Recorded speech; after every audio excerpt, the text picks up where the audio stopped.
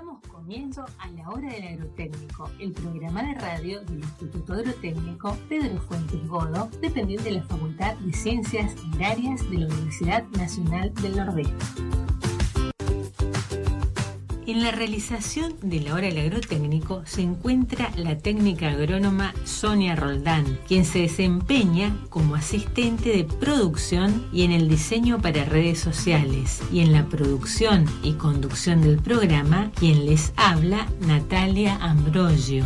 Soy ingeniera agrónoma especializada en periodismo agropecuario. Buenas tardes, damos comienzo a un nuevo programa de la hora del agrotécnico. En el programa de hoy contamos en el estudio con la presencia del licenciado Víctor Rusa, quien es agente de proyecto del programa Cambio Rural del INTA de Colonia Benítez.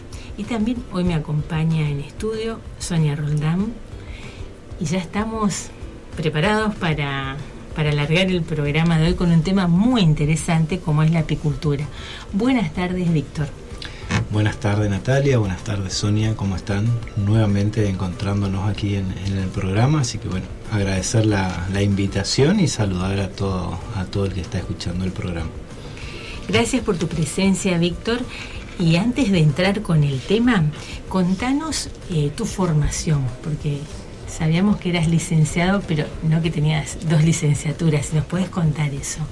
¿Y dónde estudiaste? Bien, bueno, eh, en realidad soy licenciado en apicultura y desarrollo. ¿sí? Esa carrera la estudié en la Facultad de Veterinaria de la Universidad del Centro de Buenos Aires, mediante una articulación de la misma facultad eh, con la carrera, digamos, de veterinaria y el INTA. ¿sí? Eh, esa carrera surgió como una carrera término en la cual identificaban la problemática de que en el país éramos muchos técnicos en producción apícola, pero eh, había que dar un paso más para poder profesionalizar la, actividad. ¿sí? Entonces el INTA y la Facultad de Veterinaria en conjunto arman el diseño y se larga la, la licenciatura y la hacen todos los técnicos apícolas eh, que se encuentran distribuidos en toda la Argentina. Y acá para la zona, ¿cuántos licenciados en apicultura tenemos? Si no me equivoco, somos dos licenciados en apicultura eh, en la provincia del Chaco. ¿sí? ¿Y la otra licenciatura que tenés? La otra licenciatura es local, es de la UNE, de la Facultad de, Ingeniería, ¿sí? Eh, y es la licenciatura en gestión ambiental, que tiene justamente un enfoque de productivista, si se quiere, pero con una mirada eh, sobre todo para cuidar el ambiente a través de diferentes estrategias eh, en los territorios, digamos, teniendo en cuenta no solo la parte productiva ni la económica como se puede llegar a, decir o confundir, sino también el factor ambiental. Muy bien. Le decía a la audiencia que trabajás para el programa Cambio Rural. ¿Qué es el programa Cambio Rural? Bueno, la verdad que eh, nosotros siempre en las reuniones de Cambio Rural lo que hacemos es hacer una memoria de lo que del trabajo que se hizo en la reunión anterior como para empezar a introducir bajo esa misma metodología por ahí en el programa anterior contamos los lineamientos de cambio rural la metodología de cambio rural eh, contamos que el programa es una, herramienta estratégica para los productores dentro del territorio y que trabaja con una forma eh, muy común y que se la conoce a cambio rural por la metodología de trabajo en grupo. ¿sí? O sea, nosotros en la experimental del INTA de Colonia Benítez, en la actualidad tenemos 12 grupos de productores que a su vez cada grupo integra entre 8, 9 o 10 productores que hacen referencia a una temática que puede ser ganadería, horticultura, apicultura y turismo rural. Son las, las actividades que trabajamos en la experimental fuertemente con la ganadería y en ese sentido el programa trabaja en desarrollar y acompañar a los productores en todo el territorio. Es, un programa que, cumplió 30 años de, trabajo a lo largo y a lo ancho de, toda la Argentina el año pasado. Entonces, ¿cuál sería la importancia? La importancia justamente es de poder atender este estrato de productores, pequeños y medianos productores eh, de la zona de la ruralidad y que puedan eh, crecer en sus actividades eh, financieras económicas, en su poder tener un plan productivo, poder ejecutar justamente un plan de negocios. nosotros nos marcamos el, futuro, digamos, en, en, tres años, ¿sí? llamándole el primer año de corto plazo, el segundo año de mediano plazo y el tercer año ya sería el plazo más alejado, digamos. O sea, trabajamos en desarrollar un plan de trabajo para el grupo y para cada productor en ese tramo de tiempo. Muy bien. ¿Cómo fue que empezaron los grupos de cambio rural apícolas? Bueno, qué linda pregunta, me trae muchos muchos recuerdos para empezar a, comentarte el tema de justamente y específicamente, que es el tema a conversar, que es la parte de producción apícola. Eh, estamos hablando hace más de 17, 18 años de, trabajo, donde con un grupo de apicultores eh, se integró el primer grupo de cambio rural en la experimental de Colonia Benítez con la temática apicultura. O sea, fue algo innovador, ya que la experimental, como te decía, tiene un perfil muy fuerte en la parte ganadera. Eh, empezar con un grupo de productores apícola era algo novedoso, ¿sí? Así que estamos hablando de aproximadamente 18 o 20 años de haber arrancado con el primer grupo de cambio rural eh, acá en la zona de Colonia Benítez, en la cual en ese momento yo asumía el rol de promotor asesor de cambio rural. ¿sí? Esa, esa ventaja, digamos, la pude capitalizar a lo largo de los años, ya que estar trabajando con los productores, poder armar un plan de trabajo a tres años, entender las problemáticas, eh, hacer un diagnóstico productivo, económico, socioambiental, eh, va ayudando a que el productor y el grupo en sí pueda ir creciendo. Y como, como técnico yo también lo pude hacer, ir creciendo con cada uno de estos grupos que, que iba asesorando en esos primeros años, en esos primeros pasos como técnico apícola y como trabajo de cambio rural. Después, al término de los primeros cinco años, ese grupo se convirtió en una cooperativa, cooperativa de productores apícola COPAP, digamos que hoy trabaja eh, de manera vinculada a todo el programa eh, que tiene el INTA para el desarrollo de la, de la apicultura. ¿sí? Así que son varios años que venimos trabajando y desarrollando eh, la producción apícola en la zona de Colonia Benítez, Margarita Belén y toda la zona de influencia del INTA de Colonia Benítez. Es decir, que lo que iniciaron se consolidó y creció. Sí, justamente una de las importancias que tiene el programa Cambio Rural, nosotros llamamos que es un grupo no formalizado. Pero después del tercer año lo ideal es que ese mismo grupo, si creció y se conformó y se consolidó, pueda dar un paso más que es poder tener una personería jurídica, digamos. Ya puede ser una asociación, una cooperativa, un consorcio o cualquier otra figura que los legalice de una u otra manera para tener mayor impacto en el territorio justamente. ¿Y ahora cuántos grupos son? Hoy en la actualidad en apicultura tenemos tres grupos. ¿sí? ¿Y dónde se ubican? Estos grupos eh, se ubican, eh, uno, uno de ellos, el que primero se conformó, es el de humedales saludables, ¿sí? tiene esa impronta porque está trabajando en los humedales Ramsar de la zona, eh, de la zona de Colonia Benítez y Margarita Belén, más cerca de lo que es el río Paraná. ¿sí? Entonces el grupo decidió poder darle este nombre al grupo para poner un poco en valor la floración y los recursos que hay en los humedales. ¿sí? El otro grupo se llama apicultores chaqueños, ¿sí? que también eh, conforman algunos productores eh, del Gran Resistencia, algunos productores de Tirol, de Macallé, eh, de Puerto Vilelas que son productores que se capacitan en la apicultura, que viven en la zona urbana, pero desarrollan la actividad en el campo, obviamente. ¿sí? Y después eh, el último grupo que se conformó se llama Apicultura Dos Pueblos y tiene una característica eh, que está integrado justamente por productores de Basail y de Florencia, de Santa Fe. Hay aproximadamente cuatro o cinco productores de Basail y el resto son de la localidad de Florencia.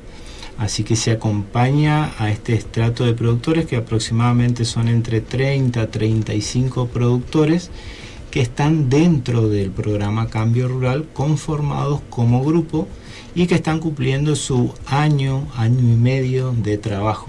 Eh, estos tres grupos tienen la característica ya de tener un promotor asesor, especialista en el tema de apicultura, que los guía, los acompaña y los asesora para que ellos puedan ejecutar su plan de trabajo.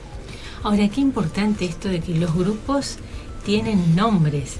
Cuando vos pones nombre, eso es tener identidad. Y tener identidad te da también sentido de pertenencia y que te involucres en lo que vas a hacer, que te sientas parte de esa actividad.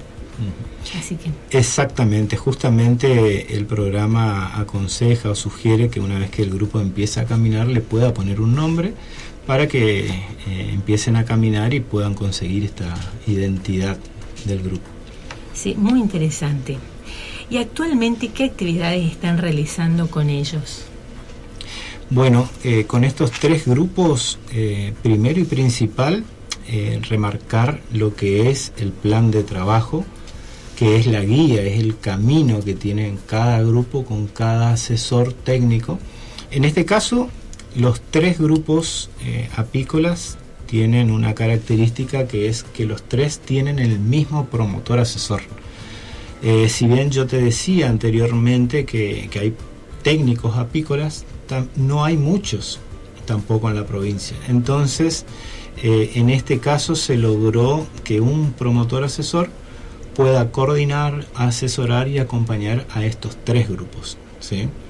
Y junto con el promotor asesor, que mandarle saludo también a él y a todos los muchachos, que es Daniel Coduti, que es nuestro, nuestro promotor asesor, eh, van realizando las diferentes actividades, cronogramas y ejecución del plan de trabajo, que arrancó todo con un diagnóstico, poder entender la problemática que iban teniendo en la parte productiva, eh, en la parte comercial, en la parte de valor agregado y eso. Así que con estos tres grupos que son los que hoy son apícolas, se va trabajando de esa manera. Y están vinculados, vinculados al primer grupo de cambio rural que te mencionaba hace un rato, que hoy es la cooperativa de productores apícola COPAP, que se encuentra en Margarita Belén. Este grupo nace de un grupo de cambio rural y se estableció en el territorio como un referente importante, ya que tiene su, sala de extracción y brinda servicios a los apicultores nuevos. Entonces, qué mejor poder trabajar vinculado como productor apícola dentro de un grupo de cambio rural y tener el sostén dentro del territorio de la cooperativa. ¿Cuántos cajones tiene cada productor? Bueno, hay diferentes escalas productivas. Eh, aproximadamente la mayoría de ellos tienen entre 100, 150 colmenas, algunos tienen 200 colmenas, algunos eh, tienen menos de 100, ¿sí? trabajan con una mentalidad más empresarial si se quiere, que eso es lo que se trabaja dentro del grupo y tienen planificado un crecimiento, decir, bueno, yo arranco con 50 colmenas, pero el año que viene tengo que organizarme para tener el doble, que es justamente una de las cuestiones que tiene que ver con la parte técnica, el tema de decir, bueno, yo tengo 50 colmenas, es un capital de trabajo, tiene un costo, tiene un precio, y esas colmenas, si yo utilizo la tecnología que hoy propone y facilita el INTA, esas 50 colmenas rápidamente se pueden, pueden tener un crecimiento de 50 colmenas más. ¿Y cuántas personas hacen falta para manejar 100 colmenas? Comúnmente eh, se maneja entre dos, eh, entre dos, entre dos productores. Lo que se trabaja siempre en el tema del grupo es, si bien para atender 150 colmenas o 200 colmenas, eh, se puede trabajar con un solo apicultor y un ayudante, cuando hablamos de grupo, lo que sucede comúnmente es que se van al apiario, se van al colmenar, invitan a otros integrantes del grupo, estos integrantes acceden a ir a ayudar al compañero y después sucede lo mismo cuando el otro productor también necesita acompañamiento. Entonces, a veces van a trabajar dos, a veces van tres, a veces va el grupo, depende de la actividad que marque el ciclo productivo. O sea, para el tema de la cosecha de miel, que es una actividad una de las más pesadas que se realiza una o dos veces en el año, ahí se necesita contar con ayuda, digamos, para el tema de cosecha. Después hay otras actividades que pueden ser el tema de sanidad o el tema de alimentación, que no necesariamente se necesita contar con, muchas personas. Esto también tiene un significado que es el tema de, de evitar elevados costos, digamos, o sea, eso se trabaja dentro del grupo para eh, aminorar el tema de los costos. Digamos. no es lo mismo que tengas que pagar un personal para que te ayude a trabajar en tu emprendimiento apícola que un compañero del grupo venga y te colabore. Y aparte se fomenta la solidaridad. Solidaridad y el asociativismo también. Bien. ¿Cuáles son los resultados obtenidos del trabajo realizado con los grupos apícolas? Bueno, Nati, muy buena pregunta. Eh, en ese sentido tenemos eh, para conversar eh, de todas las cuestiones que se vienen realizando, pero te quisiera comentar que también en este, en este proceso de trabajar con los grupos apícolas nos dimos cuenta que en la zona donde nosotros comúnmente desarrollamos la actividad carecíamos de datos productivos. Eh, en ese sentido, siempre la bibliografía o los trabajos que el apicultor puede acceder son de otros lugares de la provincia o inclusive de otros lugares del mundo. Entonces nuestra función como, como técnico, como extensionista, nos empezamos a plantear el tema de acompañar experiencias, poder sistematizarlas y poder publicarlas.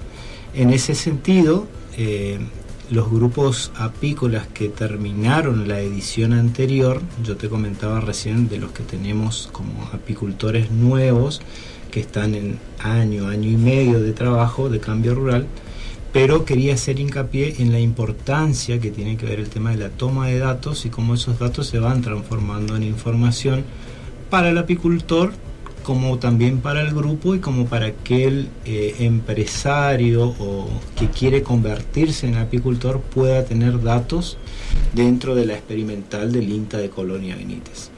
E, en ese sentido pudimos acompañar, evaluar, tomar datos y poder publicar eh, los resultados obtenidos de los grupos de cambio rural que terminaron su tercer año. Esos resultados es un trabajo de extensión que lo hicimos eh, y que lo presentamos en la revista científica agrotécnica, digamos, eh, y que se llama Contribución al Desarrollo Territorial de los Grupos de Productores Rurales pertenecientes al programa Cambio Rural del INTA de Colonia Benítez. Aquí le fuimos empezando a dar la forma al trabajo y al equipo, ¿sí? este, este, este equipo de, trabajo para desarrollar la apicultura dentro del territorio.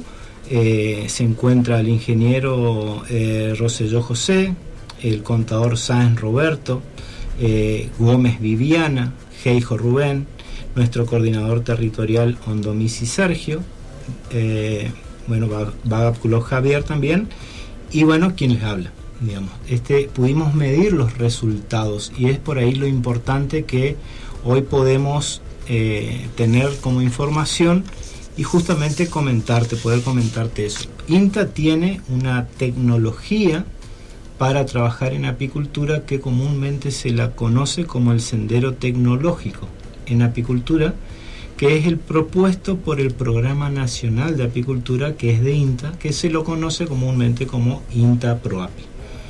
Cuando nosotros armamos los grupos, armamos el equipo de desarrollo en apicultura, lo que hacemos es tomar esta tecnología que tiene disponible INTA y ponerla en los apiarios de los productores juntamente con ellos en un proceso de formación, capacitación y asesoramiento. Entonces, al cabo de los tres años de cambio rural de estos últimos grupos, te puedo decir que uno de los resultados obtenidos es que el 100% de todos los productores incorporaron la tecnología de INTA denominada sendero tecnológico. ¿sí? Esto es muy importante, o sea que los apicultores que ingresaron a cambio rural sin conocimiento o con un conocimiento básico y no contaban con un asesoramiento técnico, en, al cabo de tres años pudieron implementar esta tecnología. ¿sí? En mayor o menor medida, algunos fueron muchos más eficientes y otros menos eficientes, pero sí pudieron experimentar el uso de la tecnología disponible de INTA. ¿sí? Eso es un resultado muy importante que se fue dando y esto se lo lleva adelante a través de lo que es la unidad demostrativa apícola, o sea, es un apiario donde se llevan adelante la tecnología que tiene INTA y se lo hacen en el apiario de un productor, ¿sí? y se va evaluando junto con el técnico, junto con el grupo, se van tomando registros y eso después se transforma en información en la parte de sanidad, en la parte de genética, en la parte de recambio de reina, en los índices productivos, como así también en la parte financiera y económica de cada productor. ¿sí? Eh, el 67% de estos productores pudieron incrementar la producción orgánica. Eh, en estos últimos 10 años aproximadamente, eh, nos dimos cuenta que tenemos un, potencial florístico en nuestra zona de humedales, digamos, y de campos naturales donde se hace mucha ganadería, encontramos que podemos desarrollar la actividad orgánica. Entonces el asesor técnico de estos grupos es uno de los que impulsa la producción orgánica y fuimos reconvirtiendo la producción convencional y la fuimos trabajando ya en nuestra zona por lo menos para poder obtener miel de producción orgánica bajo certificación. Hoy tenemos aproximadamente más de 3.000 colmenas en toda la zona eh, donde se trabaja bajo la producción de miel orgánica. ¿sí? Eh, el 100% de, de, todos los productores también generaron valor agregado. Eh, ¿Qué quiere decir esto? Que en los planes de trabajo se planteó siempre el tema de decir, yo produzco miel como productor, la puedo vender de dos maneras, a granel o puedo fraccionarla y venderla en el mercado local, en el mercado eh, provincial o afuera de la provincia muchos de los productores cuando empiezan a sacar los números entienden eh, la posibilidad y el potencial de crecimiento y desarrollo que tienen si generan valor agregado en su producción. Es así que yo te hablaba de la cooperativa Pícola Copap, que era la única que tenía, eh, que tenía su marca registrada a través de una marca colectiva, de un proyecto que era ni más ni menos que una sola marca para todos los productores de la cooperativa. Esta miel fue la única eh, bajo el sistema cooperativo en la zona. Pero hoy con, el contagio que hay y las vinculaciones que se van dando con la cooperativa, con el INTA, con el programa de cambio rural, estos productores eh, fueron teniendo sus propias marcas y hoy podemos decir que tenemos más de cinco marcas habilitadas que producen de manera orgánica o agroecológica en la zona y que están capacitados, su producto está capacitado como para poder venderlo en góndola de una farmacia, un supermercado o lo que fuera. Quería comentar, Natalia, el tema de, em, de los trabajos y los logros que se van haciendo, estos, estos grupos que fueron terminando eh, su periodo de tres años eh, se incorporaron al sistema cooperativo, o sea que dejaron de ser un grupo informal, se asociaron a la cooperativa y desde ese momento la cooperativa también creció y dio un salto porque hubo eh, más jóvenes y más mujeres que fueron eh, comprometiéndose eh, con el sistema cooperativo. así que eso me parece muy importante poder remarcarlo porque también eso contagia. Y en cuanto al trabajo de extensión que venimos haciendo desde el INTE y desde el programa Cambio Rural, comentarte que también está disponible para el apicultor, para el que se quiere iniciar algunos de los trabajos que fuimos presentando en el Congreso Mundial de Apicultura en Santiago de Chile en el año 2023. Son dos publicaciones que hablan, eh, una que es justamente el plan de desarrollo organizacional como propuesta de valor agregado dentro de una cooperativa. Y ahí empezamos a trabajar con la cooperativa vinculados directamente con todas las experiencias de los grupos de cambio rural.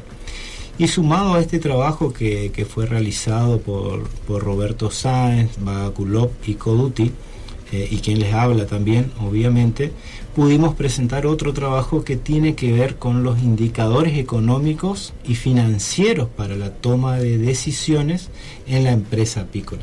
Esto es fundamental porque es el pedido que eh, muchos apicultores eh, llegan a la experimental del INTA diciendo yo quiero invertir en apicultura, pero no sé cuánto tengo que invertir, cuándo voy a tener rédito económico, cómo empezar y cómo arrancar. Bueno, eso está disponible en las redes de, INTA de Colonia Benítez y ese trabajo sí fue realizado por Science, Baculop Coduti, Coduti perdón, y quien, y quien les hable. Y a la vez también hay mucho material para, el apicultor que es material de la zona, ¿sí? y en ese sentido eh, las articulaciones interinstitucionales son muy fuertes en el sector apícola. Nos relacionamos mucho con los proyectos UNE Medio, ¿sí? donde está la, la doctora Cristina Salgado, y fuimos trabajando en estudios que tienen que ver con la parte de floración, la oferta de floración, poder diseñar una curva de floración, que es una herramienta para que el apicultor pueda planificar su año eh, ciclo productivo. Eh, y en ese caso también estamos muy vinculados a lo que es el programa Apícola ProApi, que es un programa nacional, donde trabajamos lo que es la parte tecnológica que te comentaba anteriormente a través de la unidad apícola eh, el valor agregado, que trabajamos todas las formas donde la cooperativa y los grupos pueden ir generando valor agregado a su producción y no venderla únicamente eh, a granel, sino que en góndola, eh, a través de una marca registrada y con todas las normas bromatológicas que se necesitan y sobre todo sobre la producción orgánica. Y también todo lo que es la parte de comercialización y quiero terminar con esto para que, porque por ahí es una pregunta eh, interesante en este último tiempo que tiene que ver con el tema del apiturismo. Sí, Estamos trabajando, eh, entendemos que el turismo es una actividad transversal a la ganadería, a la horticultura, a la apicultura, y hay muchos emprendedores eh, turísticos que están en nuestra zona y que vienen desarrollando esta actividad. Y nosotros creemos factible que muchos de los productores apícolas también, por la cantidad de años que tienen, por la experiencia que tienen, pueden transmitir todo el conocimiento a través de una visita turística en cada uno de los apiarios. Muy interesante. Muy interesante. Bueno, Víctor, muchísimas gracias por venir al estudio a contarnos todos los logros que se tienen desde los grupos Cambio Rural apícolas y vamos a, vamos a seguir en comunicación para después hablar de otros grupos en otras áreas que estás, de las que te estás ocupando. Exactamente, bueno, desde ya muy agradecido por la invitación, por el espacio de poder difundir lo que se viene haciendo dentro de los grupos de cambio rural, específicamente en la tarde de hoy en apicultura. Muchísimas gracias.